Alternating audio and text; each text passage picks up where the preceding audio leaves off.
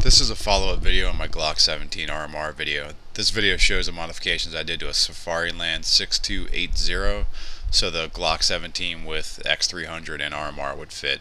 The first step of the modifications is to dismantle the holster.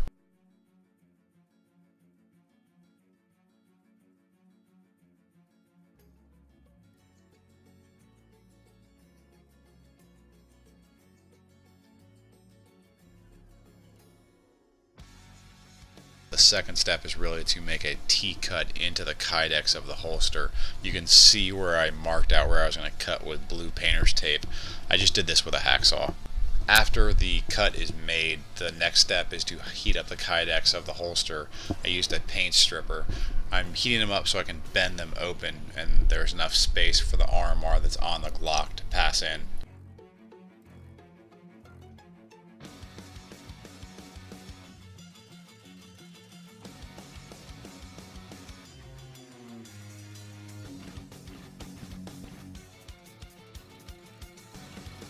Once there's enough space for the RMR on the Glock to push into the holster, the next thing you do is heat the Kydex back up so you can form those tabs around the RMR.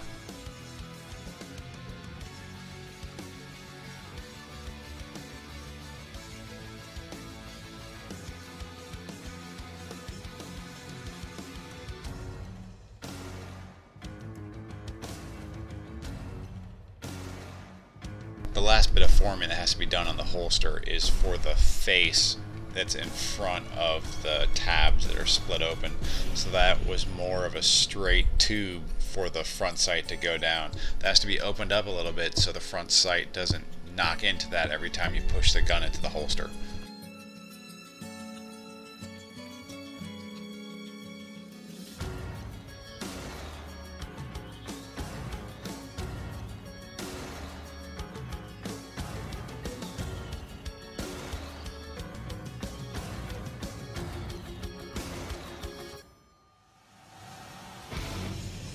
Now that the kydex of the holster is formed to where it should be, now that huge gap has to be filled, so a piece of kydex has to be cut out to act as a filler.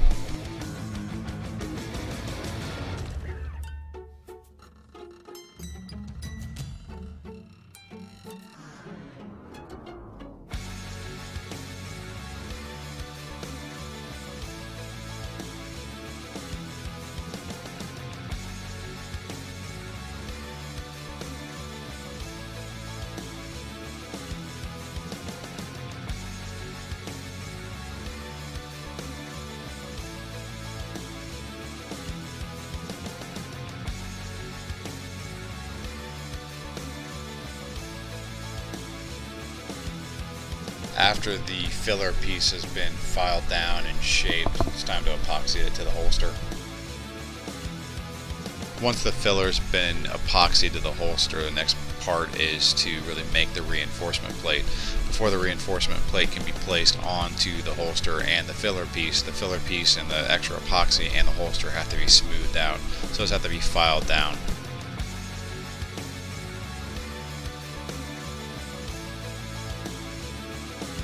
What will take the brunt of the force for the holster is really the reinforcement plate that I'm going to JB weld to the top of the holster.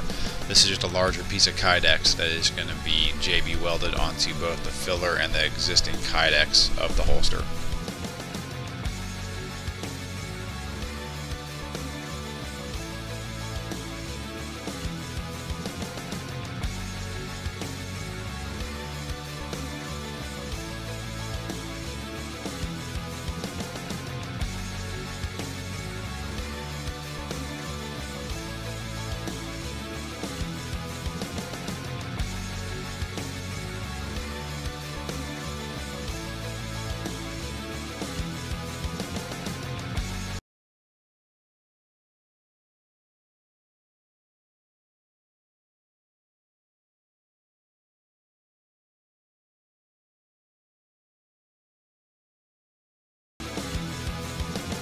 Just like the filler piece of Kydex, the reinforcement piece of Kydex needs to be shaped and filed and fit to the holster.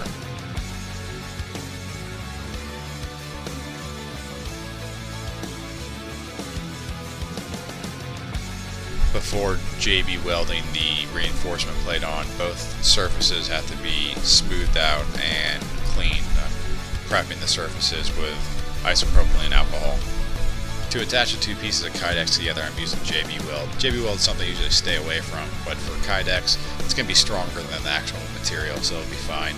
To ensure I have a really good bond between the two, I'm using a way larger amount of JB Weld than I have to. I'm also clamping the two together with a lot of force to make sure I don't have any pockets of air in between the two pieces. Because I'm using a clamp and I'm using excess amount of JB weld, that means a lot of it's going to be pressed out, so I have to clean it up as I'm squeezing the two together.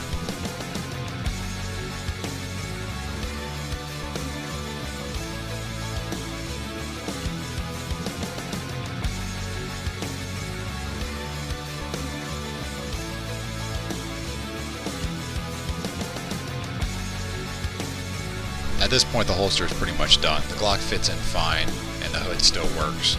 I only wanted to put a piece of leather just in case something was rubbing against the Kydex. After using the holster, I noticed this isn't really needed. There's nothing that's touching that very top part of filler Kydex, but I did it anyway. I'm just cutting out a small piece of leather and then using glue to attach the piece of leather to the back of the filler piece of Kydex. After this, the remaining steps are just heating the holster slightly to make sure the Glock fits perfectly and slides in and out of the holster easy enough, and sanding down the edges of the holster.